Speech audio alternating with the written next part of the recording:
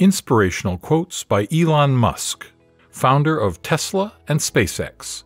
Brought to you by InstaRead. When something is important enough, you do it even if the odds are not in your favor. It is important to view knowledge as a sort of a semantic tree. Make sure you understand the fundamental principles, i.e., the trunk and big branches, before you get into the leaves and details, or there's nothing for them to hang on to. You should take the approach that you're wrong. Your goal is to be less wrong. You get paid in direct proportion to the difficulty of problems you solve.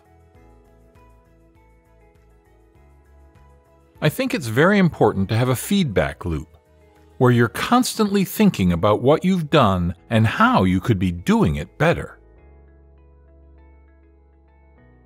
I think it's important to reason from first principles rather than by analogy. The normal way we conduct our lives is by analogy. It is possible for ordinary people to choose to be extraordinary. I think it would be great to be born on Earth and die on Mars. Just hopefully not at the point of impact. Constantly seek criticism. A well thought out critique of whatever you're doing is as valuable as gold.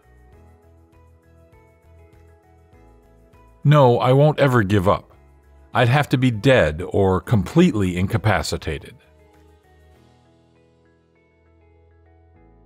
I'm not trying to be anyone's savior. I'm just trying to think about the future and not be sad. If you need inspiration, don't do it. The first step is to establish that something is possible, then probability will occur. I came to the conclusion that we should aspire to increase the scope and scale of human consciousness in order to better understand what questions to ask. Really, the only thing that makes sense is to strive for greater collective enlightenment. Any product that needs a manual to work is broken. The idea of lying on a beach is my main thing just sounds like the worst. It sounds horrible to me. I would go bonkers. I would have to be on serious drugs. I'd be super duper bored. I like high intensity. In terms of the internet, it's like humanity acquiring a collective nervous system, whereas previously we were more like a, like a collection of cells that communicated by diffusion. With the advent of the internet, it was suddenly like we got a nervous system. It's a hugely impactful thing. I take the position that I'm always to some degree wrong, and the aspiration is to be less wrong. One of the really tough things is figuring out what questions to ask. Once we figure out the questions, then the answer is relatively easy. Constantly think about how you could be doing things better. One of the biggest mistakes we made was trying to automate things that were super easy for a person to do, but super hard for a robot to do. They were building a Ferrari for every launch, when it was possible that a Honda Accord might do the trick. You need to live in a dome initially, but over time, you could terraform Mars to look like Earth and eventually walk around outside without anything on. So, it's a fixer upper of a planet. Every person in your company is a vector. Your progress is determined by the sum of all vectors. I could go and buy one of the islands in the Bahamas and turn it into my personal fiefdom. but I'm much more interested in trying to build and create a new company. Nothing is more permanent than a temporary government program. When I was a little kid, I was really scared of the dark, but then I came to understand dark just means the absence of photons in the visible wavelength, 400 to 700 nanometers. Then I thought, well, it's really silly to be afraid of the lack of photons. Then I wasn't afraid of the dark anymore after that. If you buy a ticket to hell, it isn't fair to blame hell. I think we have a duty to maintain the light of consciousness, to make sure it continues into the future. If humanity is to become multiplanetary, the fundamental breakthrough that needs to occur in rocketry is a rapidly and completely reusable rocket. Achieving it would be on a par with what the Wright brothers did. It's the fundamental thing that's necessary for humanity to become a spacefaring civilization. America would never have been colonized if ships weren't reusable. Life needs to be more than just solving problems every day. You need to wake up and be excited about the future.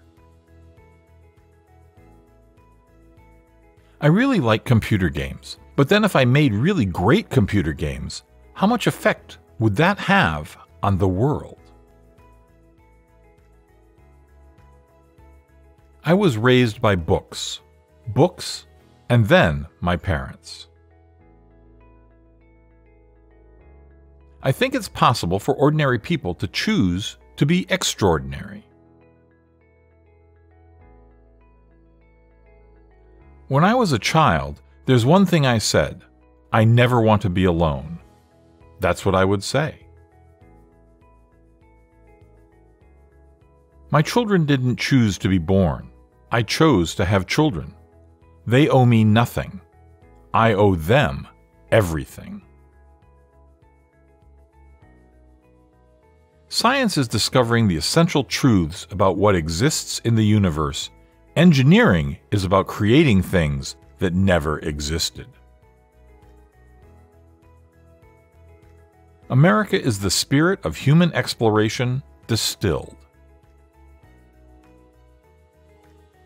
Education is basically downloading data and algorithms into your brain.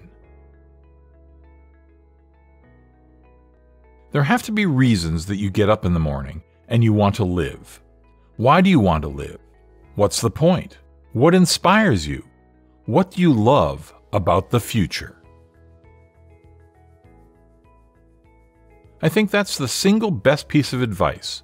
Constantly think about how you could be doing things better and questioning yourself. One of the really tough things in figuring out what questions to ask, once you figure out the question, then the answer is relatively easy. With automation comes abundance. Stupendous amount of thinking has gone into sex without purpose, without probation, without procreation, which is actually quite a silly action in the absence of procreation. The bottom line is that the law of accelerating returns impacts everything, but it is more exponential in some industries than in others. Remember, you want to optimize for happiness, not less sadness. You want to have an ambition that is beyond your reach. You want to shoot higher than people predict you're going to possibly achieve because the risk of just being content is too high. If you open things up exponentially, the prizes are very big, but the winners are also very big. The chances that we are the only civilization in the universe, I think, are much lower than 1%. If I had turned to politics and religion, and not super cool things like electric cars, then I probably would have been starving to death by now. The law of accelerating returns is the idea that every month gets faster in money, power, innovation. If you like this video, hit the like button, leave a comment, and subscribe to our channel. Visit instaread.co to get more insights from this and thousands of other books. Use the code YouTube to get a discount on your subscription.